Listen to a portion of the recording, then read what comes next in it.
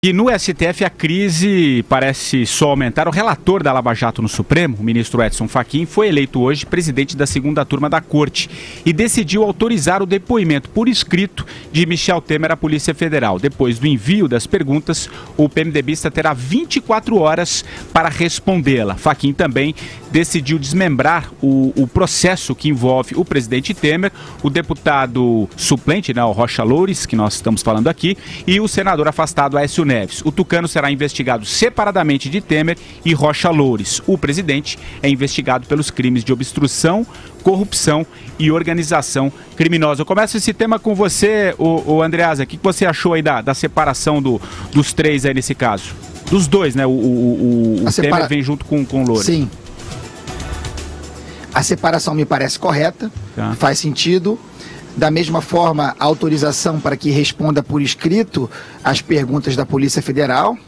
Acho engraçado que se dê 10 dias para que, o, para que o inquérito seja concluído, uma vez que a própria Polícia Federal informou que agora devem faltar 30, mas que faltariam precisaria de 30 dias para fazer a perícia naquela gravação do Joesley Batista. Então não sei como o inquérito pode ser concluído uh, sem esse material, ou seja, esses 10 dias serão obrigatoriamente prorrogados. Eu considero ah, e escrevi isso hoje no Globo, que essa investigação contra o Michel Temer no Supremo Tribunal Federal perdeu força e perdeu credibilidade por causa das lambanças relativas, sobretudo, a essa gravação.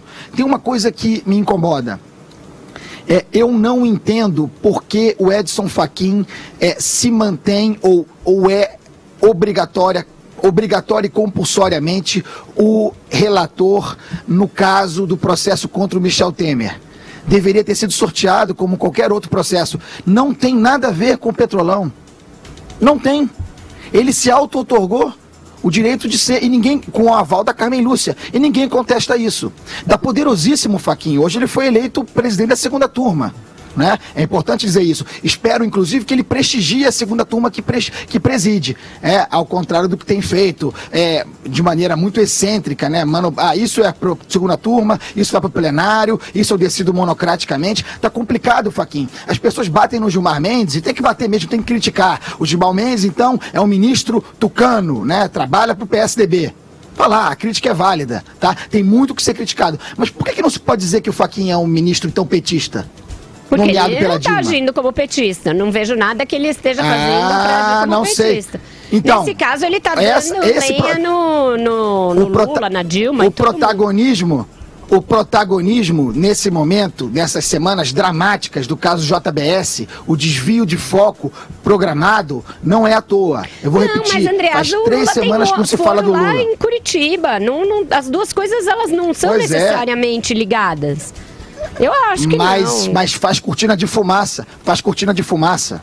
Faz. Não, esse inquérito vai ter fim, o do Lula, inquérito não, o processo vai ter um desfecho ainda nesse semestre. Calma, aguenta aí, calma, segura a ansiedade. Tomara, tomara. Agora, em relação ao Faquin, é, não foi ele que se auto-outorgou. O Ministério Público submeteu a ele e ele aceitou. Por quê? Porque a JBS ofereceu essa delação no bojo da Lava Jato, né, no qual ela era investigada, ela seria investigada. Uma das muitas investigações nas quais ela era parte. É, é, em relação a, a ele, ora submeter ao plenário, ora submeter à turma, eu acho que eu, eu defendi aqui que no caso do Palocci ele estava correto, porque a turma tinha um entendimento, a outra turma, a primeira, tinha outro, e é lícito que o plenário decida de uma vez e aí forme uma jurisprudência, forme um caminho para que se decida de forma mais uniforme essa questão dos habeas corpus. É, eu acho que ele merece algumas críticas, entre elas ter sido realmente, ter comido muito na mão do Ministério Público nessa delação da JBS, aceitado esse, esse acordo para lá de vantajoso, mas nesses outros casos eu, eu não vejo erro dele, não. O que, que você acha, Madu? Mas você. Eu tá, acho. Eu não, pode prosseguir, Andreasa. Não quero atrapalhar. Não, eu ia fazer uma pergunta para vocês. Eu ia fazer uma pergunta para vocês. É, se vocês não questionam a, a permanência desse. De, ele se tornar automaticamente relator desse caso. Qual é a relação, qual, qual, é a relação com o petrolão desse caso? Seria o Eduardo Cunha, aquele suposto, aquele suposto cala-boca que ele teria avalizado do Joesley Batista, que nós vimos que não se verifica. Então onde é que está a conexão com o Petrolão? Olha Eu não entendo. Ele tem que ser investigado no Supremo, mas é obrigatoriamente o Faquin? Vamos, vamos juntar isso ao Petrolão? Não faz sentido. Vai, Madu o que eu observo, né, até através da, da, da, conversa de vocês aí, é o que a gente, o Brasil, enveredou por mais uma sequência de calvário. Nós atravessamos um grande calvário no impeachment da ex-presidente Dilma Rousseff, com voltas e contravoltas, discussões contra discussões, gastou-se meses, e isso tem um custo social, um custo econômico tremendo, enorme, sem falar do custo político, porque é, isso só mostra a dificuldade que você tem de encontrar um caminho dentro da política que possa ajudar o país a sair da crise. O grande fato recente que aconteceu foi aquela situação, no mínimo embaraçosa, do presidente Temer se encontrar a, Sorrelfa, né, de madrugada, escondido, com um, um, um criminoso, Wesley Batista é um criminoso, né, no, no palácio, né, no, próprio da União. Isso é tudo. Agora, né, é, as decorrências disso, que basta, eu não me interessa o que tem nessa gravação, não me interessa o conteúdo conteúdo, se foi adulterado ou não. Esse fato só em si já basta para mostrar que o presidente Temer não tem nada o que fazer sentado na cadeira da presidência da República. Mas porque outras questões, né, políticas e tal, você é, é, fica ele ali se segurando e a gente, né, usando de todos os subterfúgios e se cria é, é, é, é manobras legais e se divide processos, se fatia e não sei o quê.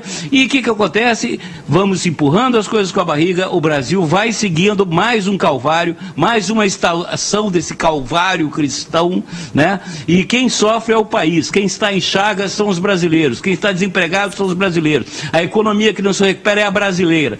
E só mostra que os nossos homens públicos não estão nem aí para o povo brasileiro. Eles, eles vivem a chamada lei de Murici, que por sinal é o reduto eleitoral do nobre senador Renan Calheiros. Cada um trata de si e o povo brasileiro brasileiro que se e se exploda.